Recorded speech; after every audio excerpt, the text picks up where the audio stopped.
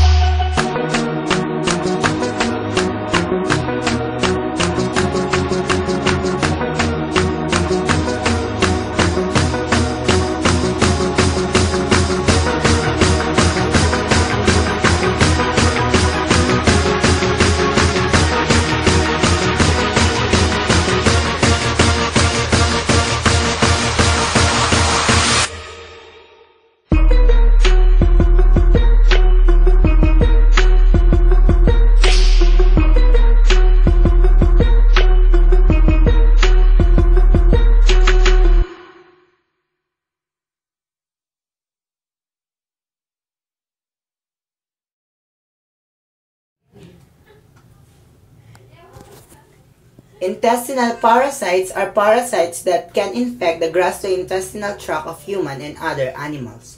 They can live throughout the body but most prefer the intestinal wall. Means of exposure include ingestion of undercooked meat, drinking infected water, and skin absorption.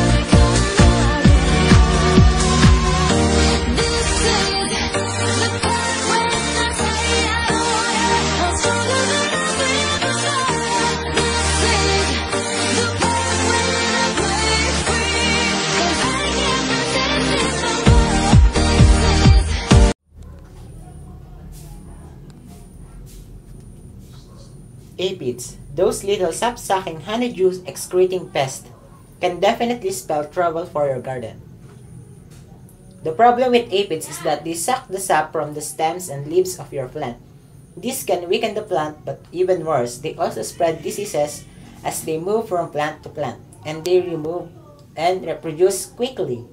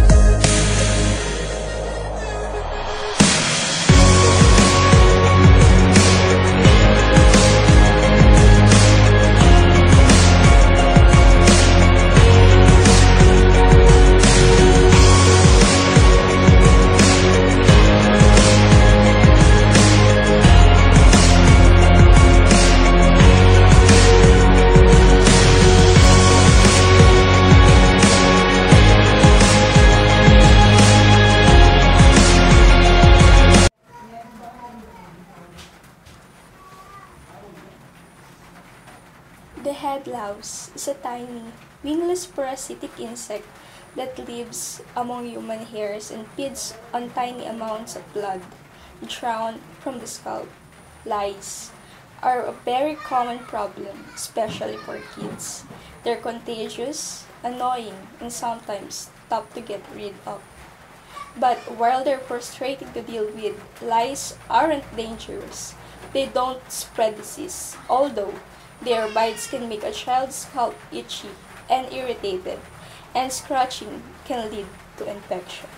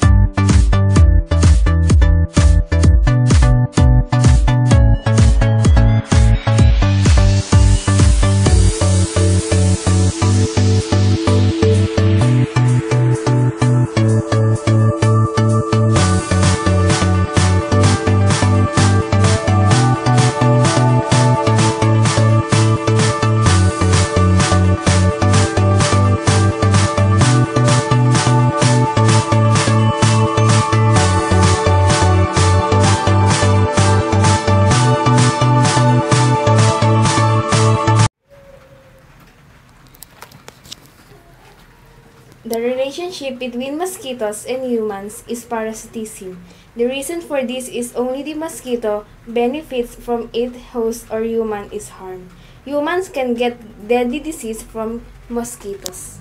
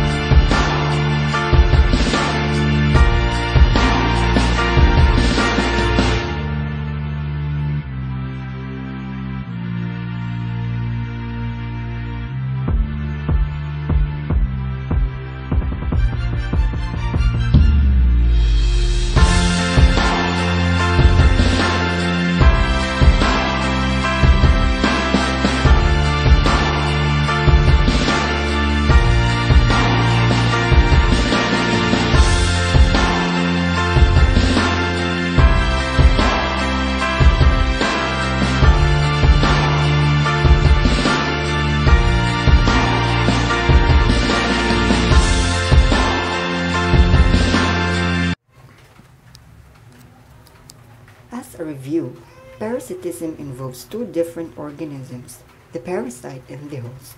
Parasite is the one that affects the host. A parasite receives positive benefit, but the host experiences the opposite. In general, parasitism is just one of the important species interactions existing in the ecosystem. This also reflects the intricate beauty of our ecological community and of life in its fullest sense.